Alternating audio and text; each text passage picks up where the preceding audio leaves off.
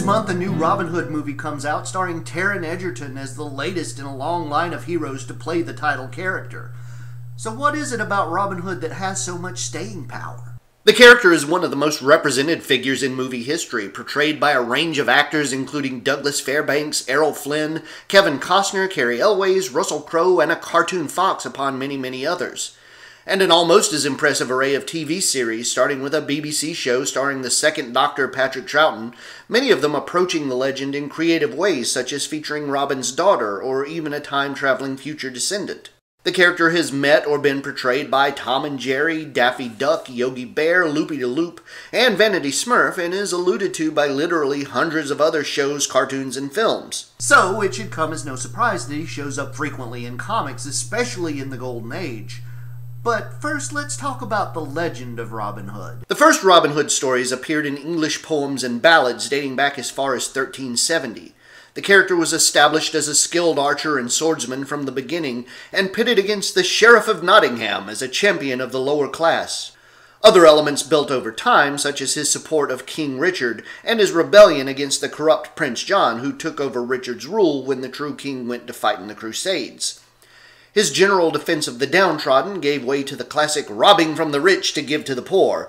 He was joined by a band of merry men, notably his best friend, the massive Little John, daring Will Scarlet, balladeer Allan a Dale, the jovial Friar Tuck, and of course Maid Marian, a lady of nobility who was the object of Robin's affections. Maid Marian was actually an older character popular in medieval May Day festivals, which also included Robin Hood games and plays, so the meeting of the two was possibly inevitable and they are inexorably linked today.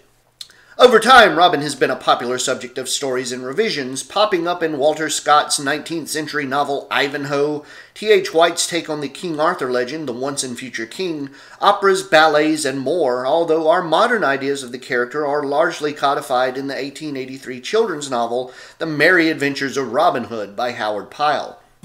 In merry England, in times of old, when good King Henry II ruled the land, there lived within the green glades of Sherwood Forest near Nottingham Town a famous outlaw whose name was Robin Hood.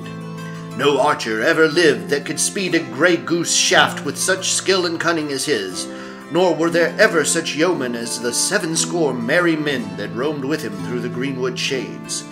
Right merrily they dwelled within the depths of Sherwood Forest, suffering neither care nor want, but passing the time in merry games of archery or bouts of cudgel play living upon the king's venison washed down with draughts of ale of October brewing. A last significant addition to the Robin Hood lore was added as late as the 1980s in the BBC's Robin of Sherwood television series, which added a Muslim character, Nasir. In 1991's movie Robin Hood Prince of Thieves, the character Azeem solidified the idea of a Saracen member of the band, an idea that has been employed in most adaptations since, although names and characterizations vary. In comics, Robin Hood enjoyed runs in comics by several publishers, starting with DC's New Adventure Comics number 23. Charlton Comics published Robin Hood and His Merry Men.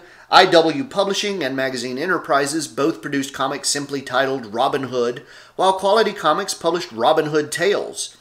And we shouldn't forget Elliott Publishing's Classics Illustrated either, which loosely adapted Pyle's version of the stories. Beyond this, the character would show up in cameos all over the place. He has been a supporting character in stories such as The Golden Archer, a young hero who served as Robin's apprentice. Kid Eternity, whose power is to summon characters of history and legend, has made use of Robin, and the character is a notable inspiration to many archery or swashbuckling themed characters. Hey, Lefty, did you read what it says behind us? Nah, I can't read. You'll have plenty of time to learn how in jail. Now, Mr. Rodent, where do I find that money you hid? I'm in business, so talk fast. I'm master of this ship, Captain Robin. There'll be no needless bloodshed here. More notably, he's been invoked as inspiration for characters whose influence isn't as obvious. MLJ's The Green Falcon was represented as a sword wielding knight, but the rest of his story, including his rivalry with Prince John, was a direct adaptation of Robin Hood legend. Meanwhile, for much of the Golden Age, the name Robin Hood was simply synonymous with exciting adventure. Batman's sidekick Robin was named after the legendary hero. Lady Luck was sometimes called a modern Lady Robin Hood. Lev Gleason's Nitro is the streamlined Robin Hood, and Quality Comics super speed character Quicksilver was nicknamed the Laughing Robin Hood despite being neither outlaw nor archer. And if you're more familiar with the character from his DC Comics modern day interpretation, Max Mercury, it's not really clear where the laughing part of his nickname came from either. Hmm. I don't think so. Although Robin Hood appears with less frequency in modern comics, he still pops up from time to time in comics such as Fables, and pop culture still embraces him. Few characters have been portrayed as many times in so many mediums in so many varied ways. So, from charming rogue to grim vigilante, from ancient poem to upcoming movie, from prince of thieves to men in tights, few characters have had so much influence over so many centuries, and that is Robin Hood's Golden Age influence.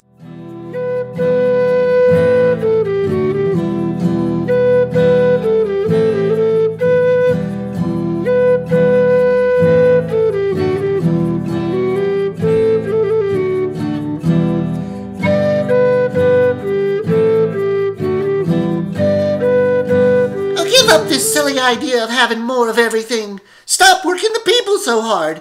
Then you won't have to make them laugh, and you'll be happier yourself.